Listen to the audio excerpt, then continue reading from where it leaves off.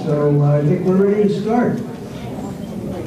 Good evening, everyone. Uh, My name is Ron Ziemba, representing the Gordon Welchman Program Committee.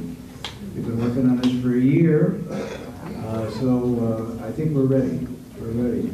We believe we've got a very engaging program for you tonight, and uh, we're going to begin immediately with Mayor Holliday, who has a very special proclamation to present. And David Jones, where's David? Can you come up too, please, to accept this proclamation? David was the first person in our group to suggest, more than a year ago, that we should have a program celebrating Gordon Welchman. Mayor? Thank you, Ron. David. Good evening, everyone, and welcome. It is uh, my pleasure to be here with all of you tonight. I do apologize in advance.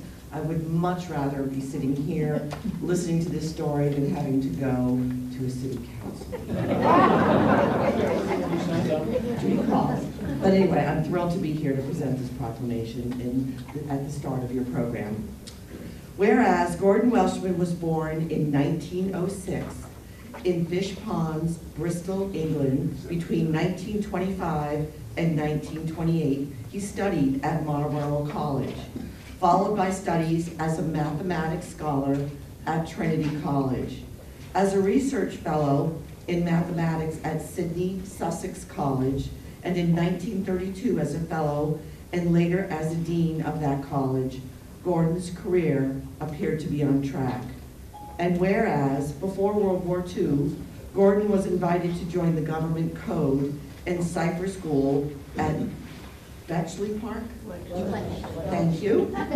Uh, England's top secret code-breaking center. Being one of four early recruits who made significant contributions, the four became known as the Wicked Uncles. Most of his work was based on what was known as traffic analysis of the encrypted German communication, the practice of examining parts of messages such as message origination, message destination, time and date information, etc., which was easier than attacking cryptographic ciphers directly. Welchman was credited with his innovating approach to code breaking, and whereas Welchman's enhanced the design of the Polish electromechanical Enigma cipher breaking machine named the bomb, and his improvement of the diagonal board made the device substantially more efficient in the attack on ciphers generated by the German Enigma machine. This code-breaking work led directly to the sinking of the Nazi battleship Bismarck and reportedly shortened the war by two years. Whereas, after the war, Welchman moved to the United States. In 1948, Gordon taught the first computer course at MIT. In 1962, Gordon became an American citizen and that same year joined the MITRE Corporation working on secure communication systems in the U.S. military. He retired in 1971 and spent the last 14 years of his life in his adopted Newburyport, a city he greatly loved. Therefore, be it resolved that I, Donna D. Holliday, Mayor of the City of Newburyport, hereby invite all residents to join in celebrating the extraordinary hero of World War II. Given under my hand and seal this 28th day of March in the year 2017, Donna D. Holliday, Mayor.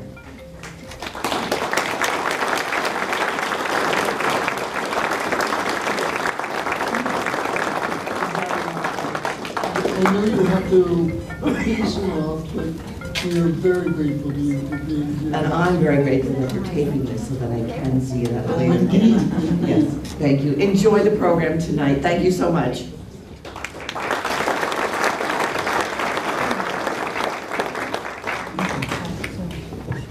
Thank you, Mayor Holliday. We really appreciate your joining us to make this proclamation, and uh, we know you need to get back to City Hall for a thrilling city council meeting. Okay. Uh, Our program tonight is a program of appreciation and celebration about an amazing man who helped to make the world a better place in large ways and in small ways on both sides of the Atlantic Ocean. It's about mathematical genius, as you've heard, about World War II, as you've heard, and the defeat of Hitler, and curiously enough, it's about the cloud. More about that later. Uh, it's also very much about Newburyport, where Gordon uh, lived in the house at 167 Water Street, now, now a B&B, uh, for the last 14 years of his life. I might just note in passing, one of the things we found out in the course of our research was that house at 167 Water Street was owned at one point by none other than Bossy Gillis. and his wife, and his mother, Hannah. Uh, Welchman remains pretty much unknown today, except by the few true aficionados of World War II code breaking. Despite all of his uh, accomplishments, uh, he sort of lived in a shadow up to now, and we hope we can do something about that tonight. Uh, Gene Doyle, who's a member of our Welchman Program Committee, has done some significant research on Newburyport during the war years. And Gene points out that life in Newburyport was very different during those years. Many of you who were here then had family members or friends who served the country in World War II, and too many of them were lost. But more of them returned to Newburyport after the war and helped to make it the great place it is today. It's interesting to speculate, says Jean, how many might not have returned were it not for the work of Gordon Welchman and his fellow codebreakers at Bletchley Park. Newburyport is said to be the kind of place that attracts interesting and even fascinating people from all walks of life to come to live here. Gordon Welchman certainly was one of those people. During his 14 years in Newburyport, Welchman was involved in the life of this city in a number of ways. You'll hear about many of them tonight. And we think you'll agree that Gordon was not just a mathematical genius and war hero, but a man with wide-ranging interests and opinions, and a pretty decent sense of humor as well. As they say, a man in full. We're going to begin in a moment with a BBC documentary about Welchman, which has been distributed in the United States by the Smithsonian Channel. You may have seen it recently. The documentary runs about 35 minutes and provides a good summary of Gordon's life and accomplishments. Following the documentary, we're going to present a panel consisting entirely of people who knew Gordon when he lived in Newburyport. Uh, there we'll offer some personal stories and reminiscences to give you a look from a different perspective at, at the man. We're hoping to close the program by 8.30, maybe a little later than that now, uh, with questions and comments from the audience, since we feel there might be others in the audience who might have known Gordon when he lived here and would have an interesting story to share. So be thinking about that. So uh, here is the BBC Smithsonian documentary called, rather, rather sensationalistically, though not inaccurately, The Code Breaker Who Hacked Hitler.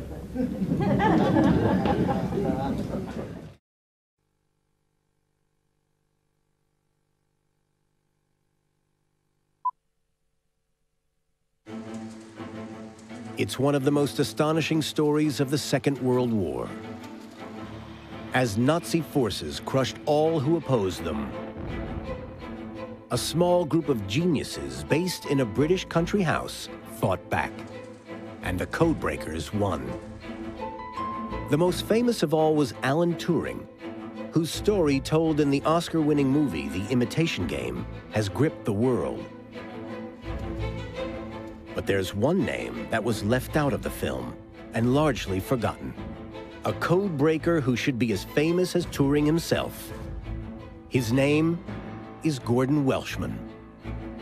Without him, the Nazi codes might never have been broken. The war could have lasted two more years, and tens of thousands would have died.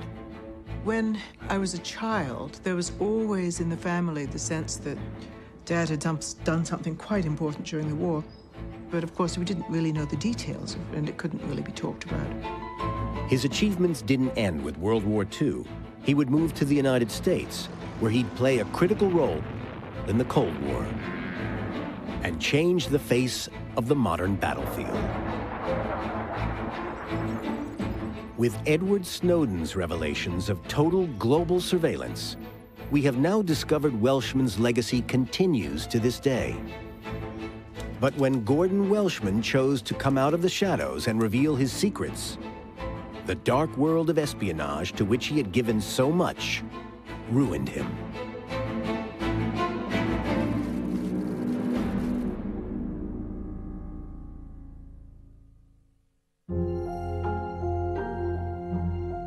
September 1939. As Britain declared war on Nazi Germany, an extraordinary motley army was being assembled at Bletchley Park in the English countryside near London to fight a secret war. Their mission was to crack one of the hardest codes ever devised, created on a machine called Enigma. Enigma lay at the heart of Hitler's armed forces communications system. Bletchley Park staff consisted of chess masters, crossword addicts, and bridge fanatics. If they could break into Enigma, they might just save the world from the Nazis. The best and the brightest were being recruited from Britain's top universities. Two of this elite were the renowned mathematician Alan Turing and the dean of a Cambridge college, Gordon Welchman. Gordon Welchman was actually quite glamorous. He was good looking and he knew he was good looking. He had a way with the ladies.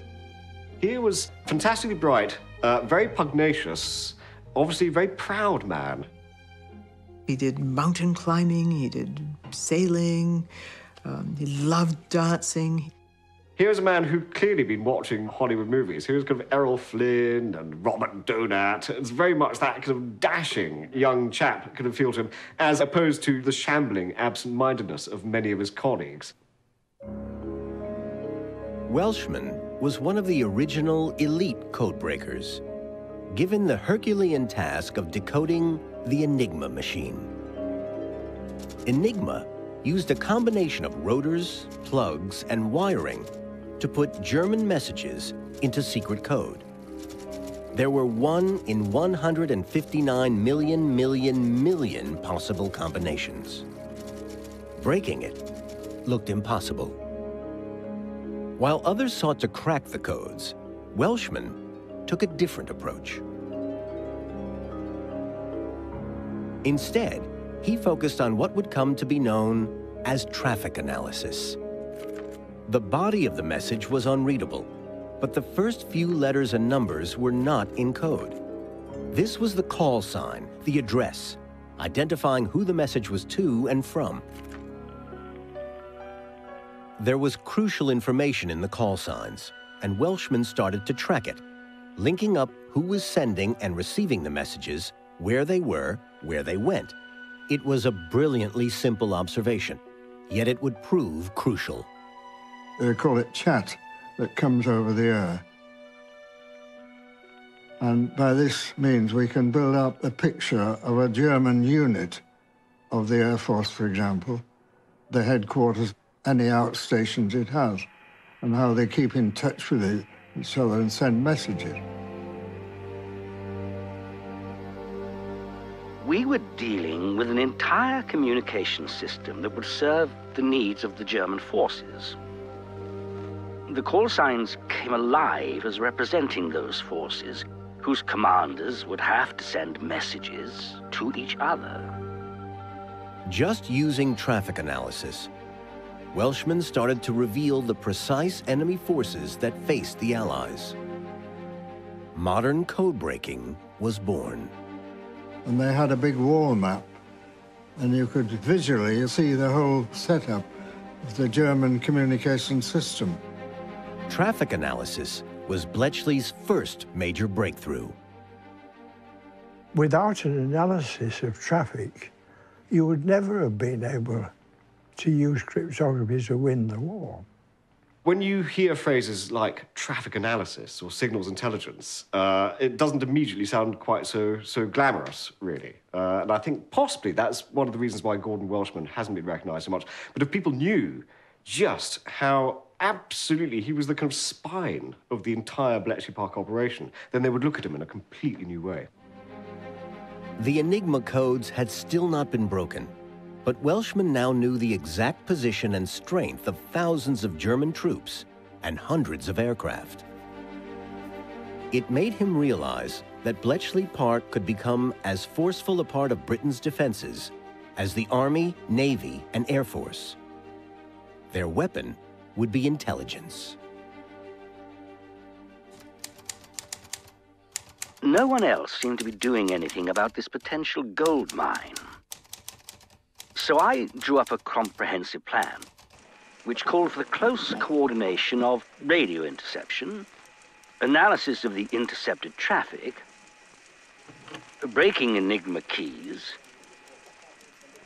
decoding messages on the broken keys, and extracting intelligence from the decodes.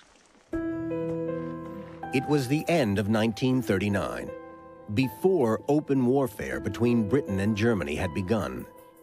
Welchman was pushing for a total reorganization of Bletchley Park, a radical plan that would require far more people and resources than a collection of crossword fanatics and professors solving puzzles. Welchman went to his boss. He won high-level approval for my plan, and we were able to start recruiting the high-quality staff that would be needed.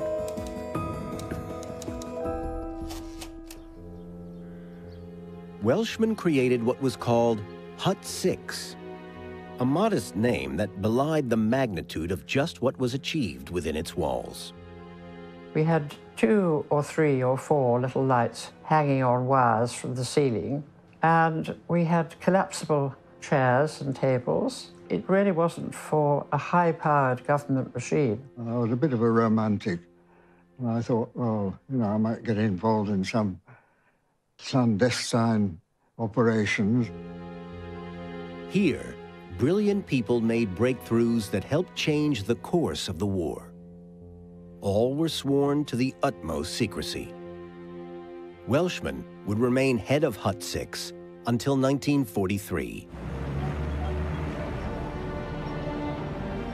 In May 1940, Hitler's panzers invaded France.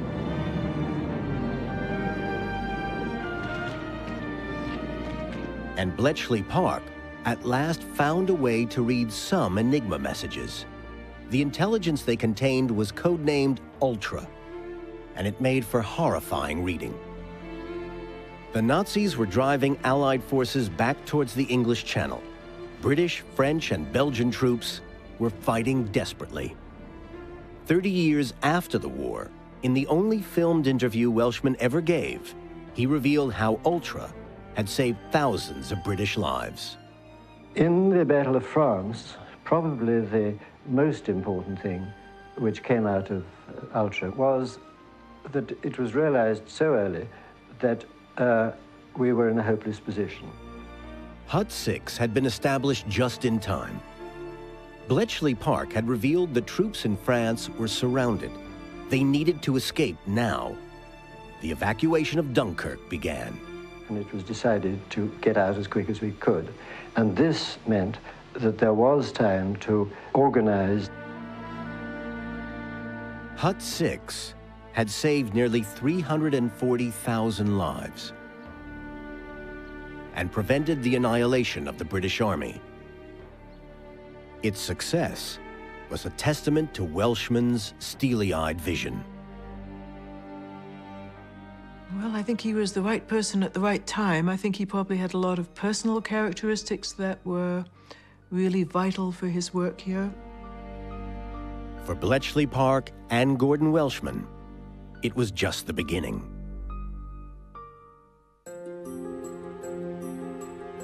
By the end of 1940, Hut 6 under Gordon Welchman was at the heart of the whole Bletchley Park operation. Here, they used traffic analysis to select and target particular German radio networks and operators. Their traffic was then intercepted and decoded thanks to a remarkable new electromechanical device designed by Alan Turing. It was helping to break key Enigma signals on a daily basis. It was called the bomb. It simulated all the possible configurations of the Enigma machine. The bomb could check them hundreds of times faster than the smartest human. But it was very limited. To run a test, known as a bomb run, it needed to compare a short phrase from the code with what the codebreakers guessed might be the original message. For example, many German messages might begin with the words Heil Hitler. This guessed text was known as a crib. If they were right in their guess, the bomb could start cracking the code. But they needed accurate cribs. Welchman realized the German operators were only human. Like anyone else, they would fall into bad habits. And if they could target these habits, Bletchley might have a shortcut to break the codes. What Welchman discovered was that by understanding the way that the Germans used the communications, you could start to predict more easily where particular types of message would come. There was a German commander in Brittany somewhere who, during the war, regularly sent in every morning a message saying, uh, Alles in Ordnung, everything's okay here. The same phrase he used every morning, which was a, a godsend to the decryptors in Hut 6. Armed with a crib, the Bletchley team could now start a bomb run and hope to find the Enigma settings. But it was a race against time. German codes were changed at midnight, and the bomb might take days to find an answer. Even if they cracked the code, it could be too late to help the Allies. Welchman's genius was to come up with a modification of Alan Turing's brilliant design and make it work many times faster.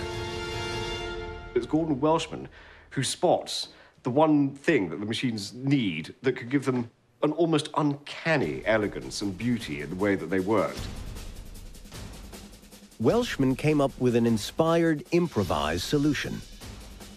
It was called the diagonal board. A simple electrical circuit enabled the bomb to cross-check hundreds of possible combinations at the same time. It reduced bomb runs from days down to hours or even minutes. Hut 6 could now read German messages, sometimes before they were even read by the intended enemy recipient. So here we see an example of Gordon Welchman's fantastic mathematical intelligence coming through, easily a match for that of Alan Turing. By 1941, Bletchley's decodes were starting to change the course of the war. A German battleship, the Bismarck, was scouring the Atlantic, destroying British shipping, and threatening the nation's survival. The main part of our fleet was out pursuing the Bismarck. She was the latest German ship and the best thing they'd got in the Navy, and very important. On May 24, 1941, the Bismarck sank the pride of the British Navy, HMS Hood, Britain's most modern and biggest battlecruiser. 1,400 British sailors lost their lives. Only three of its crews survived.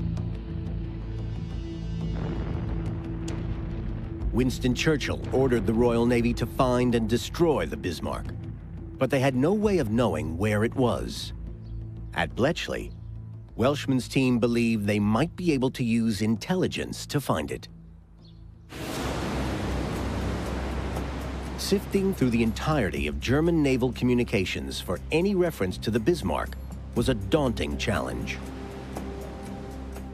What I had to do was to take the Enigma telegrams as they arrived in Hut 6, and I had to put them into the machine. Then I had to look at them and see whether they were all in German, of course, see whether they appeared to be of any interest. Then the breakthrough they had been hoping for. we discovered this message from a German commander to the commander of the Bismarck saying, Where are you going? I'm worried about my son who was on board. And the message came back, which I got, which said Brest. At last, they had a location. The Bismarck was heading for the port of Brest in northern France, being used by the German Navy. A powerful Royal Navy battle group of 13 vessels was ordered to hunt down the Bismarck. In this, perhaps the most dramatic naval film ever taken, you see salvos from the Bismarck failing to hit one of our battleships. This was during the chase right across the Atlantic while the Nazi ship was running from the guns of our squadron.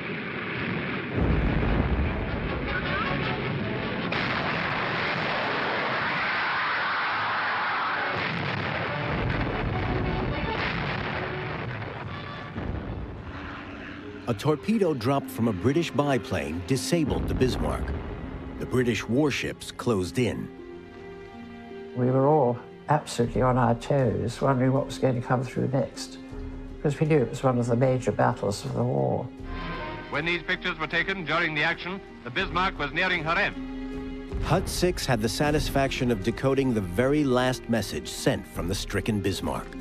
Ship unmanageable. We shall fight to the last shell. Long live the Fuhrer. And eventually they sank her. This flagship of Hitler's navy went down with over 2,000 of its crew. I mean, that was a day to remember. We were constructing a jigsaw, but half the pieces were missing. Now, it all made a picture and all the jigsaw came together. We were invigorated immediately. It was Britain's first significant victory in the darkest days of World War II. Bletchley Park had proved that intelligence could sink ships. It was a weapon the Allies were determined to use to the limit. Under Welchman's supervision, a ramshackle collection of wooden huts became the world's first intelligence factory. Rebuilt in brick on a whole new scale. A handful of codebreakers became thousands working around the clock. Two bombs became 200. Bletchley Park was breaking Enigma daily revealing the inner secrets of the German war machine. And it was changing the course of the war. They tapped into Field Marshal Erwin Rommel's battle plans, and his forces were driven out of North Africa.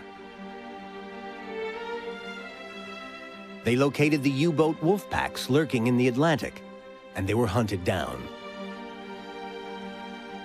And thanks to Bletchley, the Allies knew their D-Day deception had worked. Hitler believed the real invasion was yet to come and held back the panzers that might have driven the Allies into the sea. For the very first time, code breaking had made a significant difference to a war.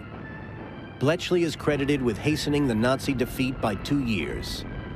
That's enough to have saved thousands or hundreds of thousands of lives. By the time the war ended in 1945, Bletchley Park had transformed military intelligence. The brains at Bletchley had taken on the brawn of the Teutonic Army and won. And Welchman was at the heart of it. To think of him as the Henry Ford of cryptography is not a bad metaphor. The industrialization of cryptography. That's an astonishing achievement. His legacy is in uh, what Bletchley Park achieved, what Bletchley Park contributed to the success and the Allied victory in, in 1945. Um, it's hard to have a bigger legacy than that. One war was over, but another was about to start.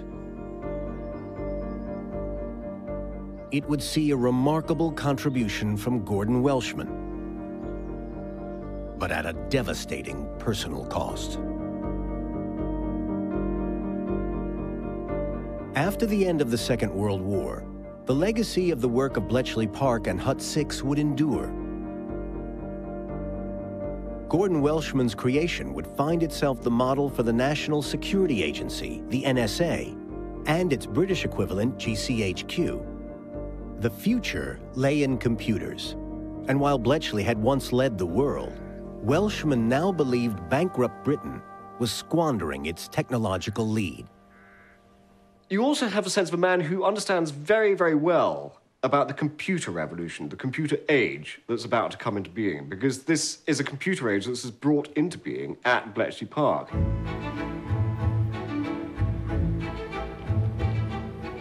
Welchman was determined to stay at the forefront of the computer revolution.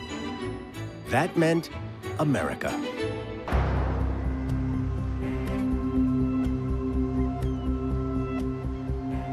In 1971, Welchman moved to the New England town of Newburyport and married his third wife, Teenie. He was now 65 and still at the peak of his powers. He had made a decisive impact on both the Second World War and now the Cold War. Yet everything he had achieved was known only within his clandestine world. Fighting an intelligence war against the Soviet Union, the US and British governments had kept the success of Bletchley Park secret for two decades. Everyone who worked there had been sworn to silence. But then in 1974, came an event that had unexpectedly far-reaching consequences. The Ultra Secret, a government-approved book by an ex-MI6 officer revealed for the first time the role of code breaking in winning the Second World War. Suddenly, daylight was being let in on a hitherto secret world. It was a shocking moment for all those like Welchman, who had taken their oath of secrecy so seriously. For years and years, I didn't even read the histories of, of the war because I was afraid that somehow or other I might reveal um, something that I'd learned from Ultra. I think it was an enormous relief. He could tell these stories and could talk to us and could share memories that he'd kept tamped down for so long. An idea began to form in Welchman's mind that he should write his story. I seem to have a very special responsibility in that I was the only person alive with inside knowledge of a very telling episode in cryptologic history.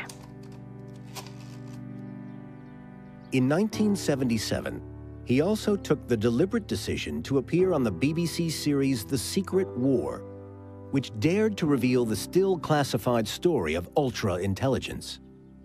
I don't know whether I should say this, but it seems to me that uh, some of the things really have been kept secret too long, that there is a, a, a point at which um, you do more damage by deceiving your own people about the true history of World War II than you could possibly do by telling now the stories as it actually happened. Determined to set the record straight, as well as to give public recognition to those whose work had been war-winning, Welchman had to write from his own prodigious memory and discreet research from former colleagues. He had no access to official papers, which were still classified. It was seven years' work. I think my father felt that he had a very important insight on a particular piece of history, which very few other people had. And he just kept reading the obituaries and realizing that there were fewer and fewer people left. But Gordon Welchman, after a life spent in the secret world, didn't realize that world was about to turn on him.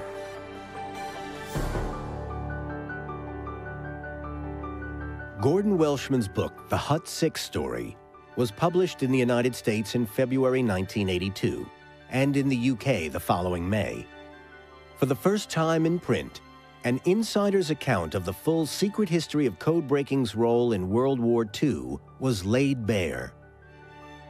Importantly, it incorporated Welchman's use of traffic analysis. The book also included a warning. Welchman believed lessons from the war were being ignored.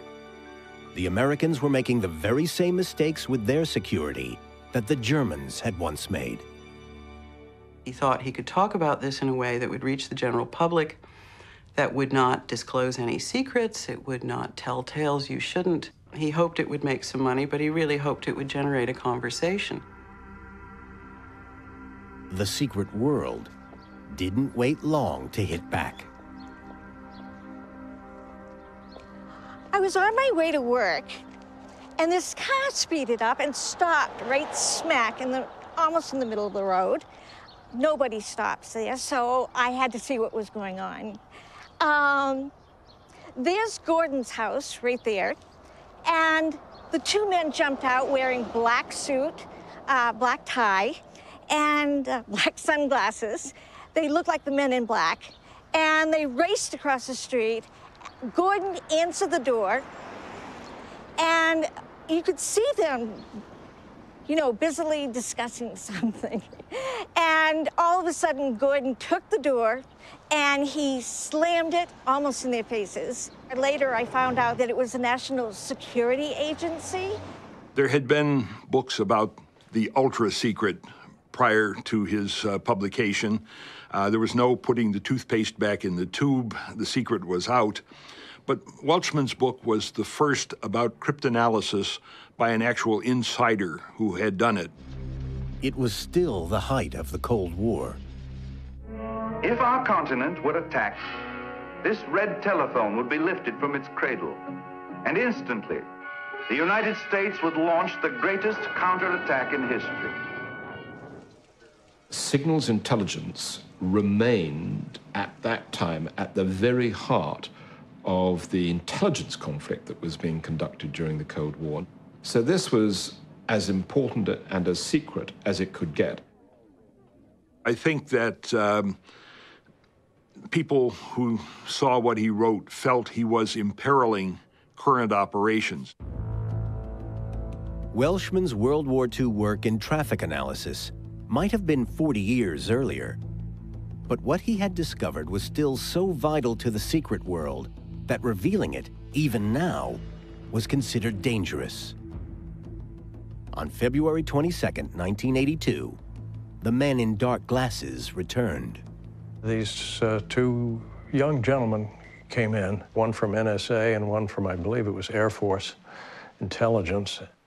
They said, well, this information has never been uh, declassified and therefore is still in violation of the wartime secrets laws. Gordon was taken aback. He said, this is, this is absurd. They were delivering a message to him, and it was an ominous message.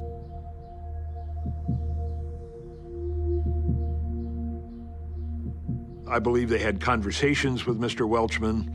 Uh, beyond that, I'm not sure that uh, I can talk about anything meaningful. And it became clear the American authorities were not going to back off. Uh, it was really quite devastating. He was quite unprepared for that. Welchman enlisted the help of another writer who had fallen afoul of the NSA. We lived in the same area, so we could actually get together physically. And it's probably the kind of things that you don't want to talk over the telephone, especially when you're dealing with NSA. He couldn't do any publicity. He couldn't answer questions from reporters. He couldn't uh, uh, appear on television shows and so forth. And that was a really big problem. The NSA threatened Welchman with an obscure legal clause dealing with the sharing of cryptology. This same law is now being used on NSA whistleblower Edward Snowden. It's a part of the Espionage Act. I think it's 10 years in prison and a heavy fine. So these were very, very serious charges. I could see he was nervous. I, I could see the physical effects that the NSA was having on him. That devastates somebody that spent their entire life trying to protect uh, um, U.S. and British governments, and now they're being told that uh, they're going to be charged with a crime, possibly, of uh, giving uh, secrets to the enemy. He'll be prosecuted as maybe being a spy, or a, not a spy, but a, a leaker. There was one final act with devastating consequences. On April 29, 1982, Welchman's security clearance was withdrawn. All of a sudden, uh, he disappeared. Dear Mr. Welchman, the MITRE Corporation believes it would be mutually beneficial to temporarily suspend your access to classified materials. This suspension is effective this date. Please acknowledge receipt of this letter by signing in the space provided below.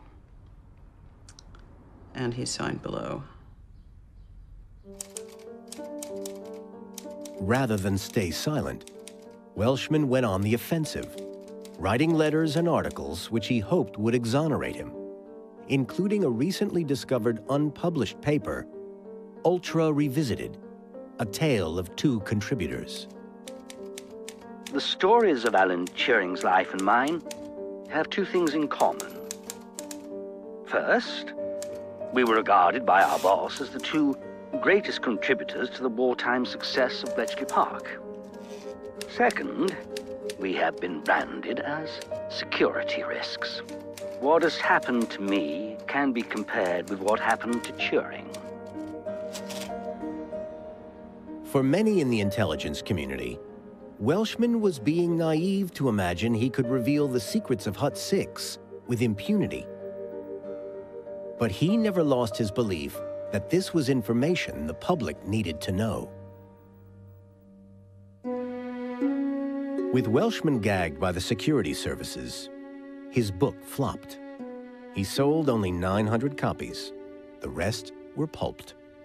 He suffered a lot. He uh, went through a great deal uh, to put Hut 6 story out. The strain was, was also coming at a, a very difficult time. He'd had uh, some more medical problems. It was a cruel irony that Gordon Welchman, a master of the clandestine world, who helped win World War II by breaking enemy codes, and also helped the West win the Cold War by keeping their communications secret, would himself fall afoul of the secret state. I believe that the um, rules at the time about secrecy were really inflexible. The people who administered inflexible rules themselves had spent a full career being indoctrinated with the idea that secrecy was the base.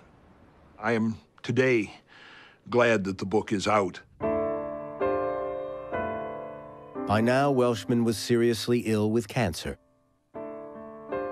I'm not saying that he was blameless. He had broken the procedures, and the law was never invoked. But he lost his job and his livelihood uh, without ever appearing in court or ever facing any criminal charge. And finally, you know, I think he realized that uh, it, it wasn't going to go away. They probably couldn't successfully prosecute him, but they would break him financially. Gordon Welchman never redeemed himself. On October 8, 1985, he died. It made two of the last three years of his life really quite hellish. But his legacy would continue. After his death, his methods and insights not only became part of the West's military thinking, they also became the very heart of the new intelligence networks as the world became more and more connected via computer.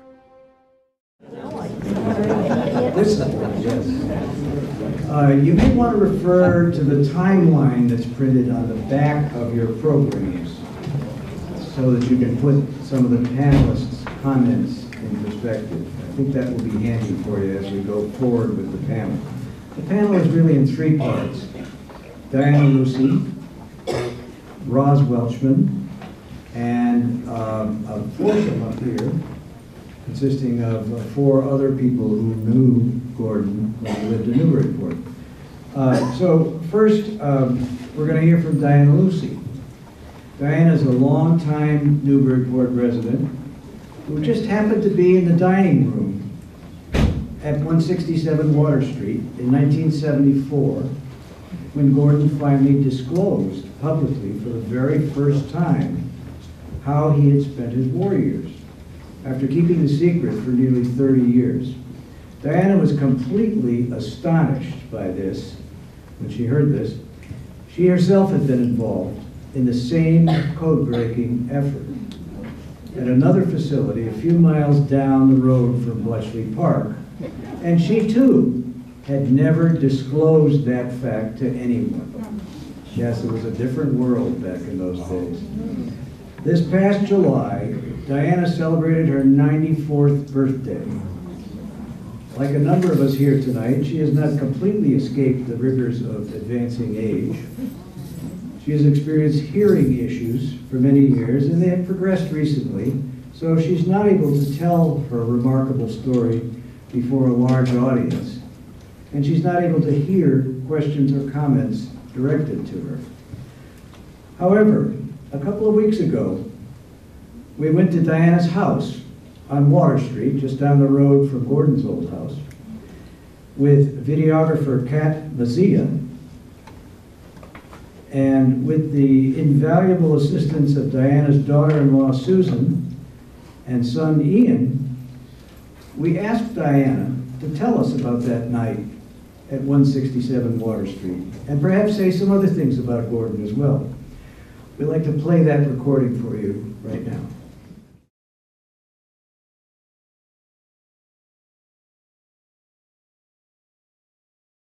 I'm going to talk to you tonight about Gordon, the man that we all knew and loved, who came in retirement to Newburyport. And he was originally from England and he was a rather lonely little boy. He had an older brother who was killed in the first month of World War One, and an older sister, and that was it. So until he went off to school to Marlborough College, he was really rather lonely. But he showed in Marlborough College his mathematical brain, and from then on, his academic life just bloomed. And um, I grew up a little later than Gordon, but in a small village in England, and spent two or three years in Italy with my parents. Then came back, had a normal school in England, and when I finished, I was in college studying speech and drama and was allowed to finish. The war broke out, but if you were already in college, you were allowed to finish.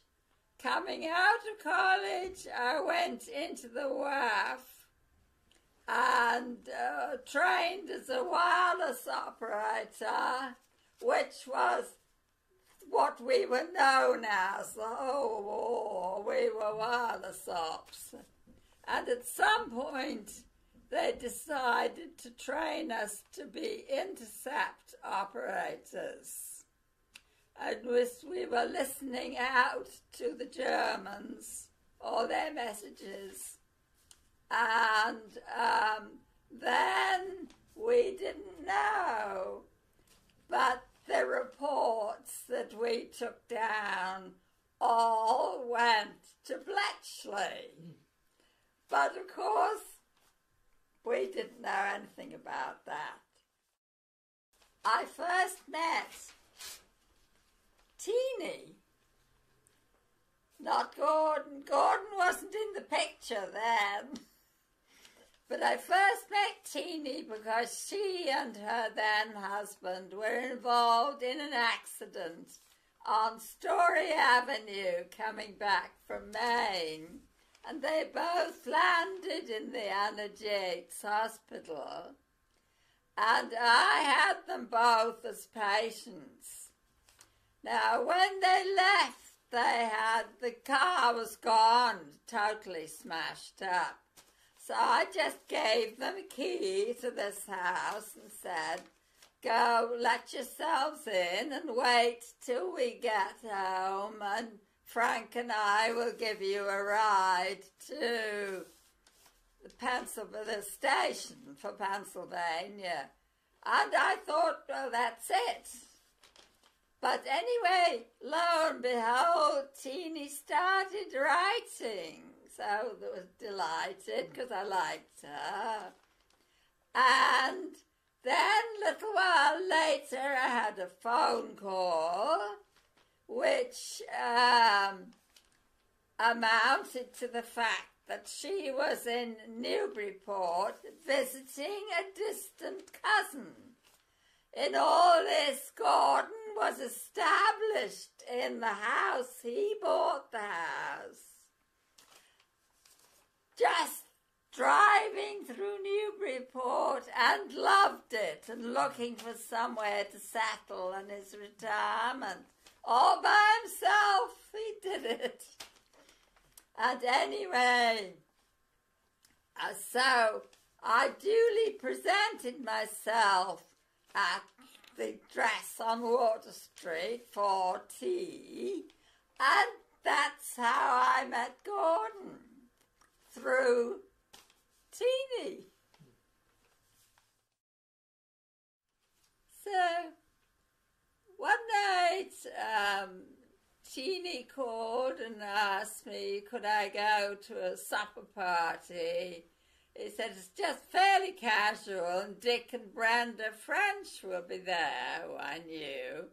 So I paddled up Water Street and um, we had a lovely meal. Teeny was an excellent cook.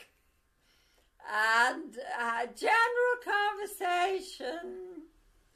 And then, out of the blue, really, Gordon announced, Well, I have something to tell you.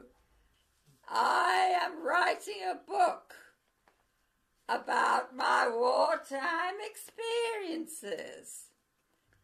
And he just said, I worked at Bletchley and my mouth fell open and I just said, I don't know what I said. I could hardly speak because it was so secret. Nobody ever said anything. And then when I sort of got myself together and I said, and I was an, a, an operator, you know, taking down everything the Germans said. And Gordon came round and gave me a big hug and he said, I don't believe it. And his answer to that was, well, I'm really glad to know.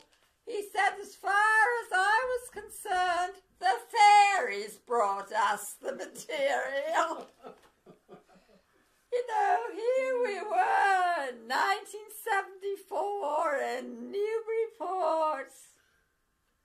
And it was a million to one chance that you'd ever meet up with an operator like that.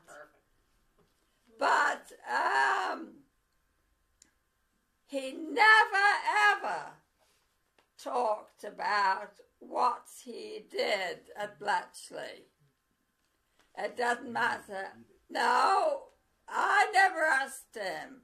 And I, I never talked about what I did. I did talk to Gordon. Uh, not, not at that point, but a little later. That took us up to what sort of uh, the time, the timing of his book, coming out of the book. And he really got nothing but grief from various quarters over the pond and otherwise.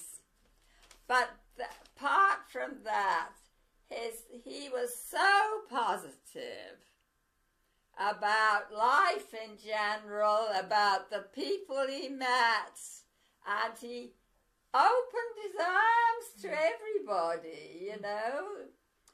But he did not get the recognition for what he did for a long time because he is one of the most important scientists and mathematicians to actually come out of World War II, and at last he's been recognized for what he did. When Gordon was beginning to feel real pressure about his book and so forth, and he, uh, I was going to visit the family in England, and he asked me if I would take a paper for him to, and I said, oh yes, you know, and sort of got into this because he was getting really rather paranoid about the mail and sending everything uh, overseas.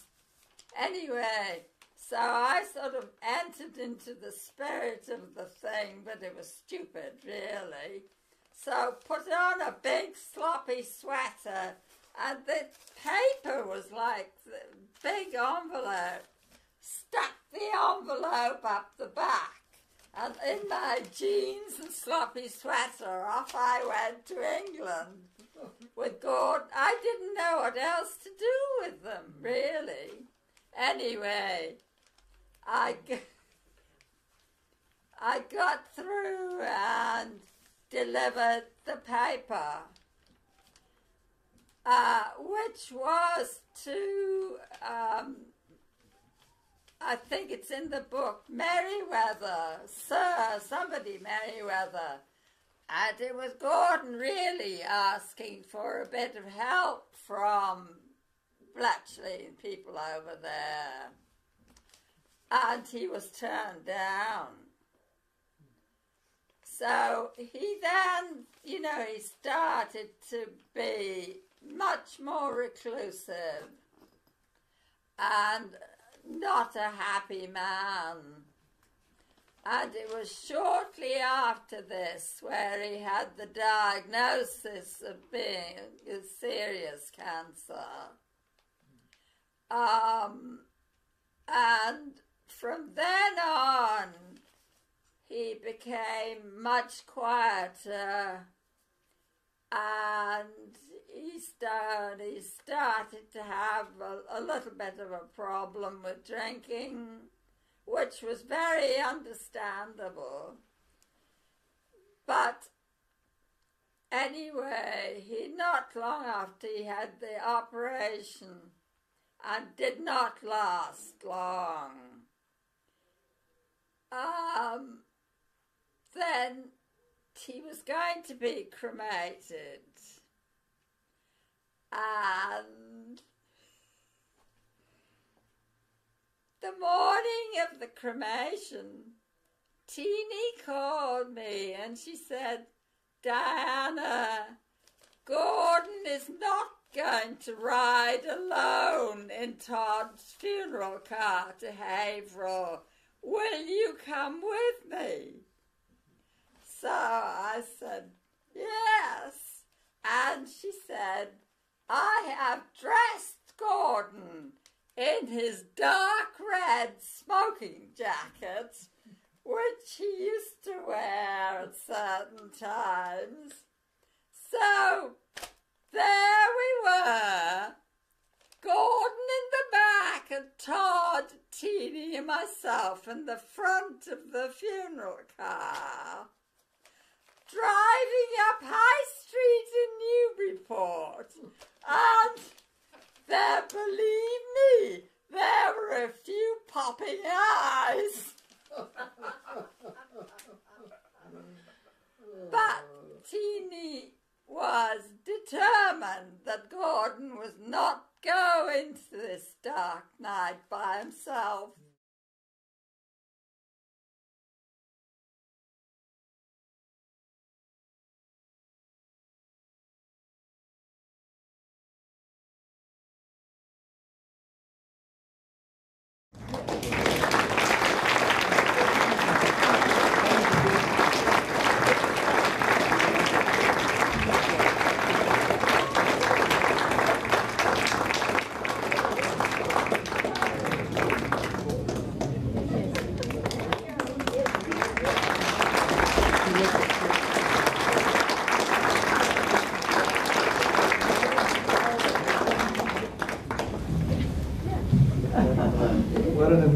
Lady this is.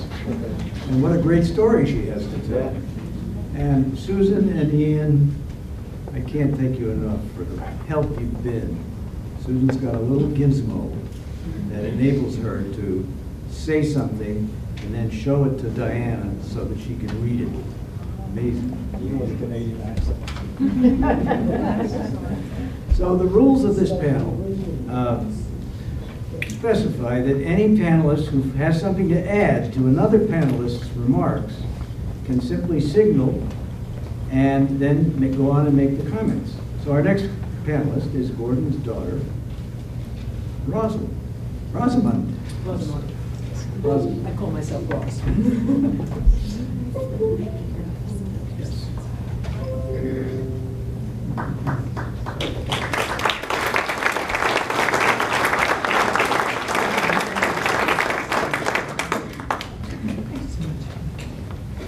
Well, that's a very difficult act to follow. Thank you very much, Diana, for that. And um, thanks to everybody who's organized this um, evening. I think Dad would be very, very pleased. Um, Ron said that we should, uh, the panel, the job of the panel is to look for a different perspective, so I'll try to talk about things other than what you've seen in the film. Um, I can talk about my perspectives, um, but partly, I guess I didn't know about a lot of a lot of what was in the film until I was, um, well, you know when, I mean, until I was um, getting getting on. Um, but uh, and and as I said in, in the film, the the, the uh, in childhood we vaguely knew something had happened, but we didn't know very much about it. So I think I won't talk about that. Instead, I'd like to try to give you a bit more of a sense of who he was. Um, how many people here did know him? Oh my goodness, that's wonderful. And how many knew Teeny? Yes, I, I think more might have known Teeny through her work at Anna. I'm not sure. Um, so, um, what can I tell you about? Um, he was a wonderful father. This is me as a, as a young woman. And uh, he was tremendously supportive. I've been going through old letters, and I can't believe how many letters he wrote to me, all through high school. And he was an amazing letter writer. And, and obviously, you know, I think at the time, possibly, I didn't appreciate that as much as I, uh, as I would like to, uh, would have liked to. Um, I think, um, wait, where are we? Here we go. This one. There we go. Um, with young children, this is a picture of him with my first child. And I don't know if you see, do you see a little bit of awkwardness in this picture? and he was a proper English gentleman, and Englishmen often weren't awfully good with very young children. I mean, he really wanted to try and hold it, but he often said, well, you know, I'm really only good with children once I can read a book to them. His, uh, his attitude, but still, we, we, we did. He could read many books to my children, they did, did get to know him. Um, I would like to tell you a bit about his many, many enthusiasms, because I think the film talks a little bit about that uh, when he was a young man, how he did the mountaineering and the dancing and all those things. But that really went through his life. But he did tend to, sometimes, some of his enthusiasms were very intense but fairly short-lived.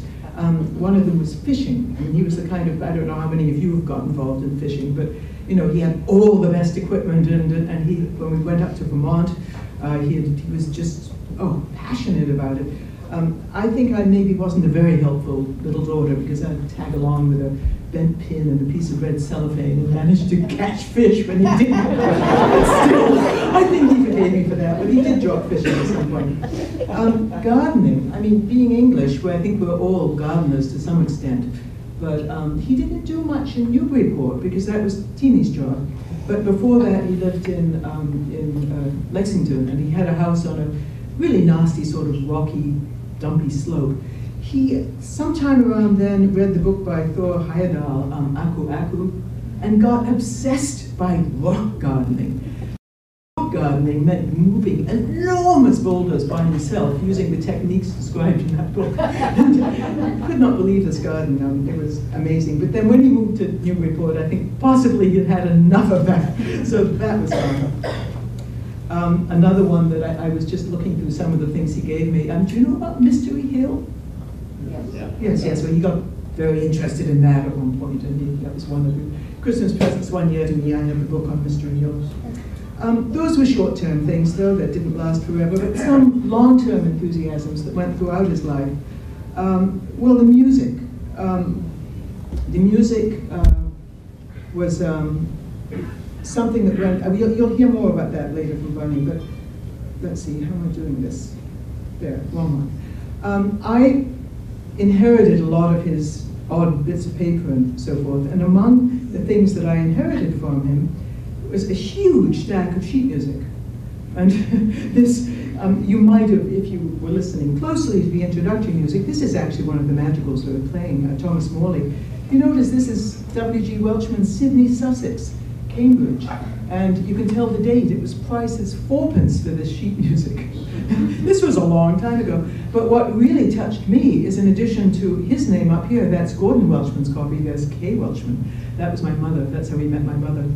And um, obviously music meant a great deal to him, you'll hear about that, but I'm just so impressed that he actually kept this sheet music all his life. He didn't sing, as far as I remember, I don't remember him singing, except possibly hearing him in church, but, um, but he uh, certainly uh, loved, loved, loved music.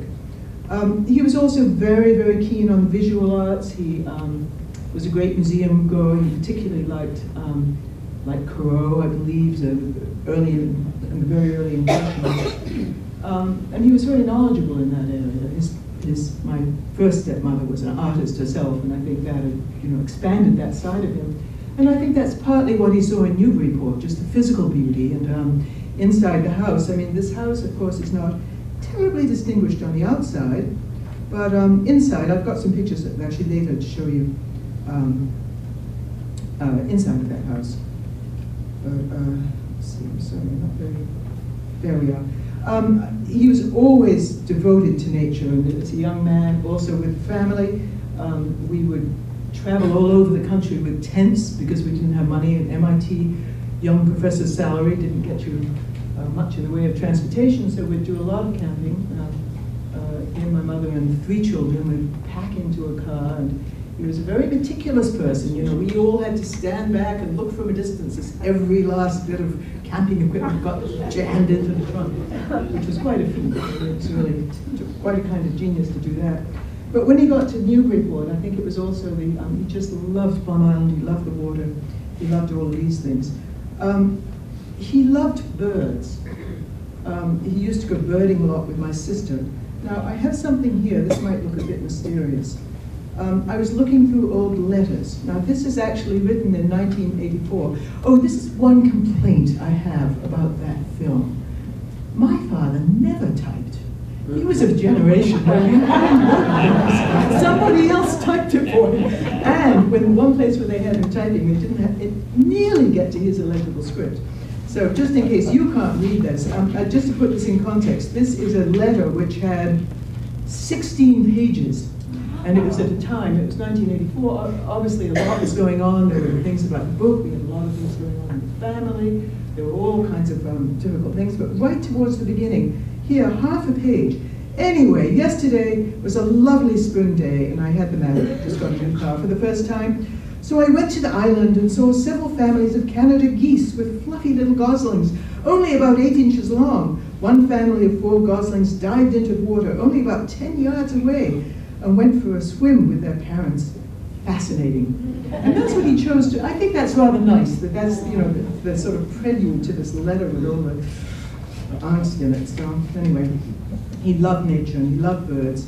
Um, this one I think you've seen. Um, I was lucky enough to come up with my children. Uh, Dad and and I spent many hours on Plum Island, and my children would have long debates about which was the best parking lot to go to. uh, really appreciate it. Um, let's see, what's next? This is a picture, he loved doing this kind of thing. Can you see him in the picture? Yeah. Yeah, um, this is one of those, you know, rounded mirror. Um, it, it, it's a, what a spherical mirror. And so he can take a picture and it shows the whole house, it's the inside. It's not a very good picture, but at least you can get the idea of what it looked like. Um, a little spot, it had this wonderful banister. I think that was one of the things he most liked about the car, about the house. Um, wait, I don't want to. No. No. No. Excellent. Excellent.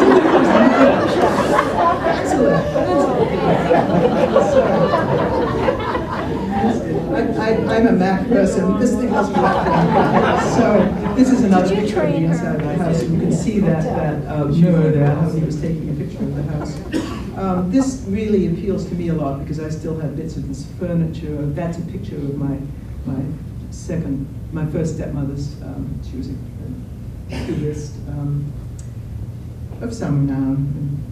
So I like to see these pictures. Um, let's see what's what's next. I'm sorry, I'm getting hung up in this thing.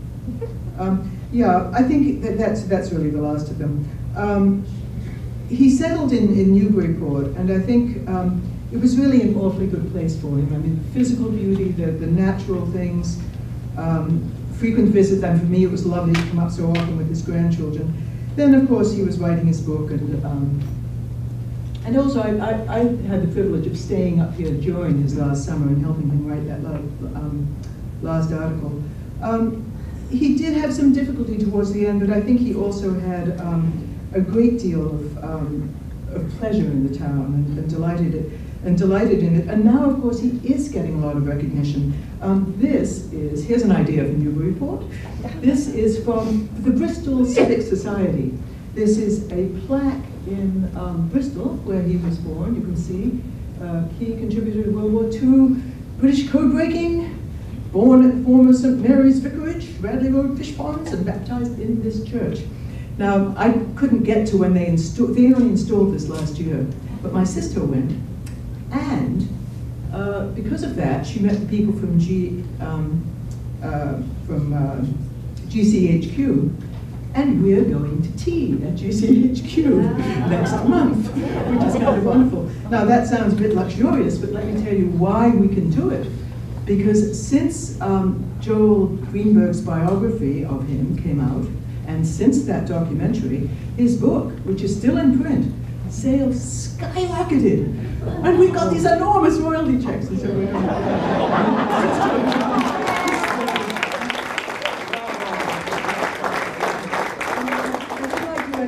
other thing. Uh, uh, I mean, if you're really interested in his life, I think Joel Greenberg's biography is wonderful. Also, if you Google it, um, about the same time that Joel was writing that book, and totally independently, there was a small theatre company in England called Idle Motion, which produced a six-player play with three, three events going on. It was Bletchley Park, it was the founding of the museum at Bletchley Park, now it's a museum, and, um, and the third one in between was my dad writing his book. Now, there was one actor who was the same actor in, in, you know, throughout the whole play, and that was the guy who played my dad. And uh, they were very pleased to see me there. They were very, very nice. But that young man, he was so nervous about meeting his daughter. it was really wonderful. But I think if you Google it, you might, you might be able to find it. It used to be on YouTube. You can at least see a preview. It's called That Is All You Need to Know. And the theatre company is called Idle Motion. It was quite good. It made it to the Edinburgh Fringe Festival, so it was pretty well recognized. All right, that's all I have to say.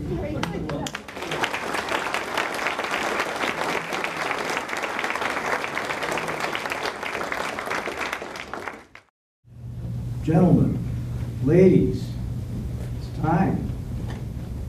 Rosie, you gonna take this last seat up here?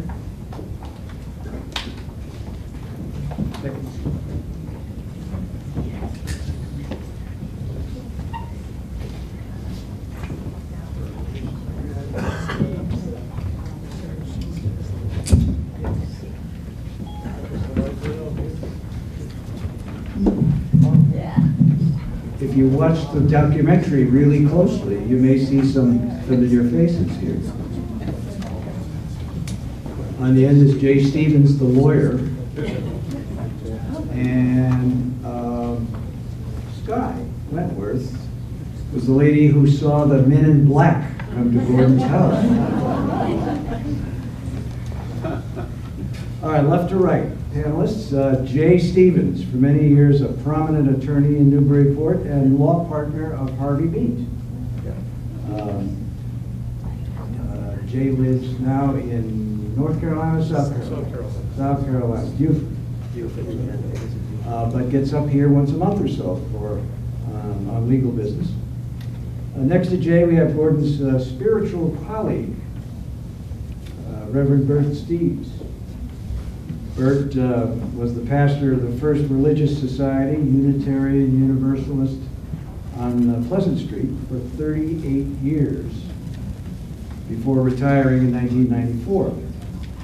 Uh, he'll tell you about his relationship with Gordon. Marilyn Westcott, Bunny, known as Bunny to most people around here, uh, who with uh, his, her husband Ross moved to a retirement home in Maine recently after 42 years in Newburyport. And Sky Whitworth, another longtime resident who works as a book publicist and lives uh, today on Boardman Street, uh, lived across the street from Boardman at one point. Um, and of course, Ross Welchman, whom you already, have heard from. Uh, let's begin with you, Jay Stevens. Uh, you, you provided legal counsel for Gordon when his book was published and was challenged by the American and British governments. Talk about that a little bit.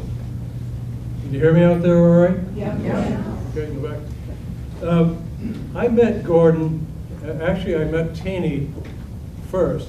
Teeny had come to see me about a matter uh, that related to her former husband. And Gordon came along for moral support. I can't tell you exactly what the date was, but it was sometime in, in uh, the late 1970s, I think it was. And uh, at some, uh, I guess it must have been a lull in the conversation or, or whatever it was, I don't recall the details. Uh, Gordon was there, and I was there with him, and I uh, obviously knew he was British, so I just uh, was chatting it up, you know, how things go in the, you over there in the war and so forth and so on. And he said, yes, and I said, what were you, what were you doing at that time? And he said, I can't tell you. That's it. Uh, there's no question about it. So that, that was, I'm guessing that might have been late 70s, 77, 78, 79, in that time period.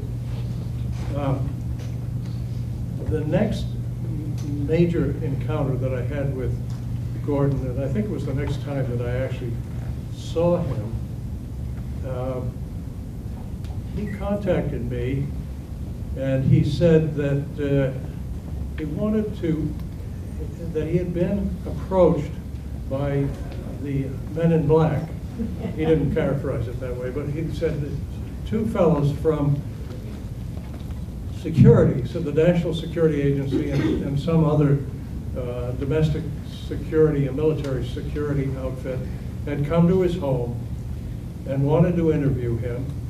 And he seemed, uh, uh, I won't say blasé, but he was uh, comfortable about it. He said, I thought it was better if I did that in my lawyer's office or in a lawyer's office rather than uh, at my home. So would that be all right if, uh, if they came to your office and uh, interviewed me there. I didn't make much of it because he, he didn't seem to be making much of it. And of course, I didn't really know much about Gordon Welchman at that time or anything about his background. So uh, we met at my office, 53 State Street, up over the old First and Ocean Bank. And uh, these two Gordon came in, and these two fellows showed up.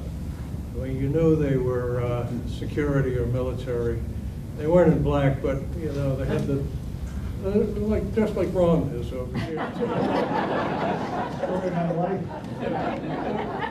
had the blazers on and you know the dark clothes, military haircuts, uh, very uh, official-looking fellows, fairly young. I would say they probably were both in the late 30s, uh, early 40s, something like that. And uh, they got right down to business, asked Gordon several questions about his book, and, uh, and he confirmed, of course, that he had published it. I don't think there was much of uh, any questions about content at that time. They, they, uh, they got right to the point, and they said, uh, you know, uh, the publication of this book is I think they used the, the violation of the Espionage Act. They brought, they mentioned some draconian uh, sanctions that could be applied, criminal sanctions, for publishing this book uh, and if he put it out uh, into the public. And they said, you're not to do that. You're not to talk about this and you're not to disseminate it. You're not to, uh, not to uh, do anything further as far as this book is concerned. The book was already published. It was in place. So this was, uh, this was all, uh, I think we were both taken aback. I certainly was. That uh, had not expected anything of this sort. I thought it was more of an informational gathering uh, interview that they were interested in. And I think Gordon uh, largely did too. But uh, uh, Gordon said, you know, this is absolutely absurd. This technology that I was involved with in 1939 and 1940 has absolutely nothing to do with what's going on in the world today. And they uh, simply reiterated the threat to him. Uh, and, and that was it. And we closed the conversation, and they got up to leave. As, as they were heading out, one of the fellows had a briefcase with him. Maybe they both did, but one fellow had his briefcase. And he looked over at Gordon, he opened the briefcase, he said, oh, by the way, uh, Dr. Welchman, would you autograph my copy?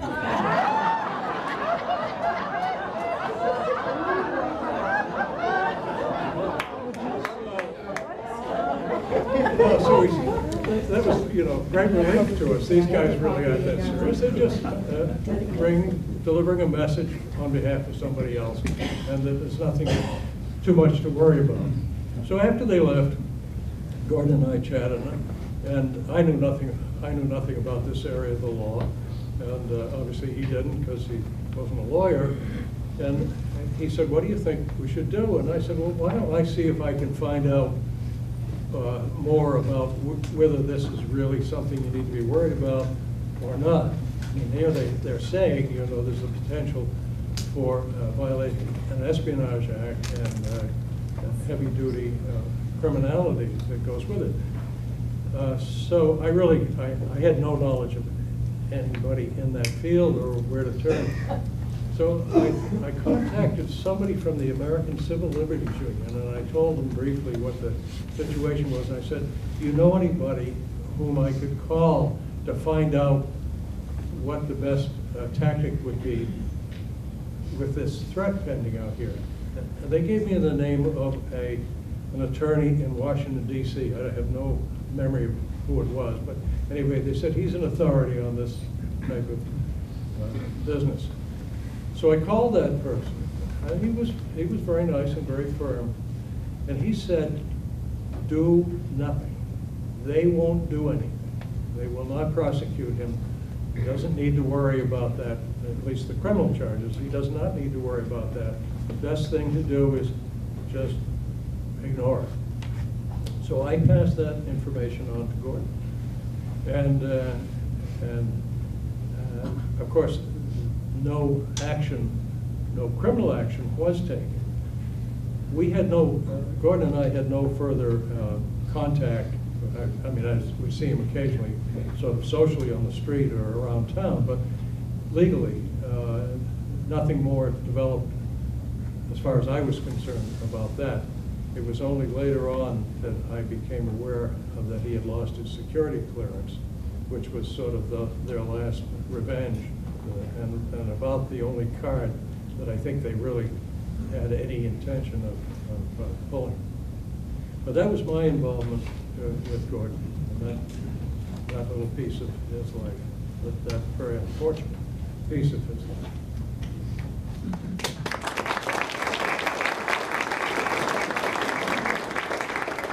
Thank you, Jay. Ron, can I just say, we're not hearing as well back here in the back. So it's important to hold that microphone. And we'll make it a little louder also.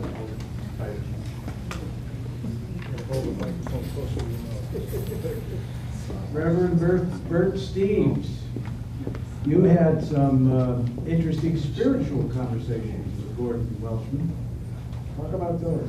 Well, the thing that's important to me, Sunday morning, I was coming down out of the pulpit, walking up the main aisle, and I saw this gentleman coming on a side aisle, and I could see that we were going to meet And he came along and he said, my name is Gordon Welchman.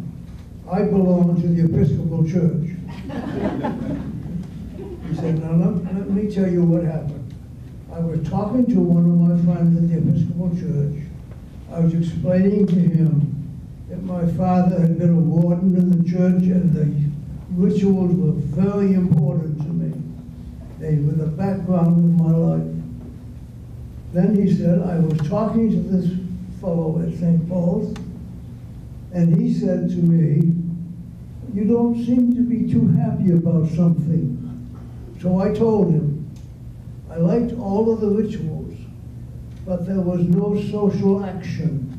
The church did not seem to be involved in the social life of the community. And Gordon said, my friend said to me, why don't you go down to Pleasant Street to Unitarian Church? so he came down and he said to me, as I've said before, the ritual is important, the social action is important. Is it okay with you if I come here one, one week and go to St. Paul's the next week? and that's the way it went on for quite some time. The, uh, we would meet occasionally and always, you know, very fine friends.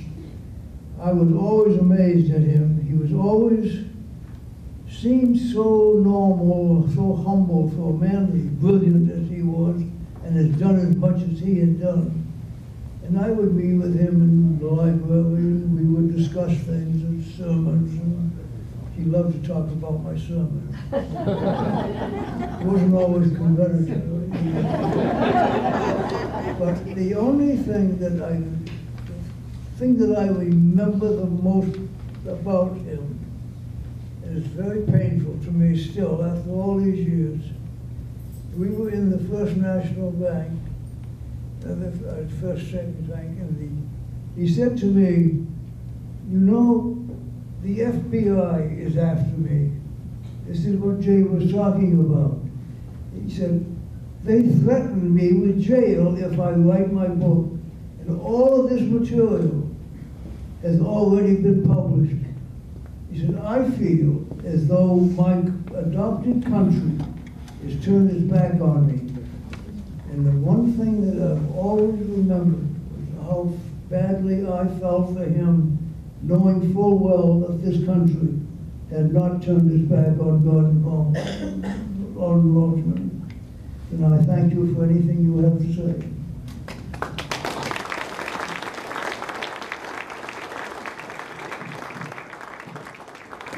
Carolyn Westcott, uh, the subject of music and Gordon's relationship with music has been uh, bandied about a little bit already. Tell us, tell us more about that.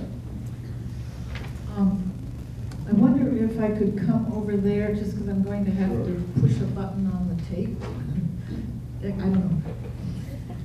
Uh, I just wanted to say, Diana Lucy it was who introduced me to Gordon and Teeny back in the fall of 1974 when I moved to Newburyport to set up Opportunity Works for the developmentally disabled.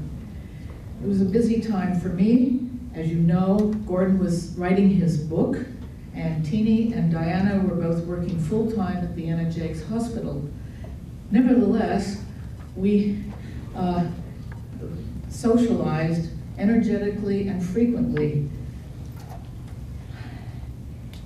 I think um, it was uh, a little awkward, but because of Gordon's great interests, we did find commonality because math wasn't my strong suit. And so our commonality was in travel and uh, foreign lands and in mountaineering and in music. Uh, his musical interests were wide-ranging, from choral to classical, uh, baroque, music hall, and uh, show tunes. He was mad about madrigals, and he had sung in a madrigal group in England, and he was uh, pleased to compare notes because I was in a madrigal group here locally called Apollo Consortium. He used to sit uh, in his recordings area on the top floor of his house, overlooking the mouth of the Merrimack, and he would play for friends pieces that struck him at the moment that he wanted to share. And he also stayed up there and on Monday nights uh, had uh, ongoing uh, evenings with Dick French, who was a teacher at the Newburyport High, and they both would share recordings uh, for each other. So he made uh, cassette tape programs, and they would range from serious to humorous, and these programs he took to nursing homes in the area, Brigham Manor, uh, Country Manor, Worcester Park, which is no longer, and I just found out he even took his um, musical programs to the Rahway Senior Center. And he played these tapes on a Pioneer boombox, but he really coveted my Panasonic.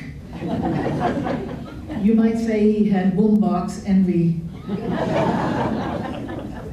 This boombox, which is here tonight and still plays faithfully, uh, played all the memorial music uh, for his service in 1985 at the Unitarian Church at the service where Bert Steves officiated.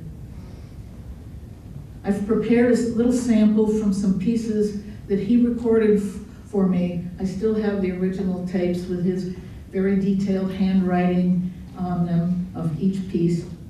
So I'll give you a little sample. You can hear some at the end that we'll play a, a longer selection of if, if you uh, have time to hear it.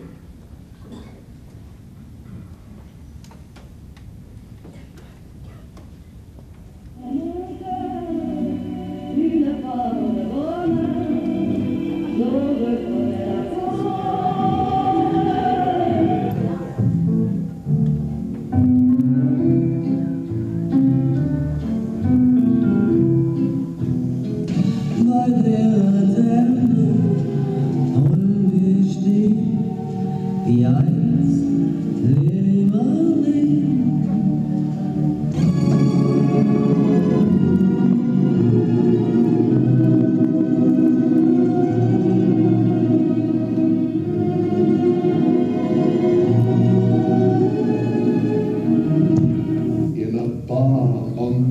Piccola Marina.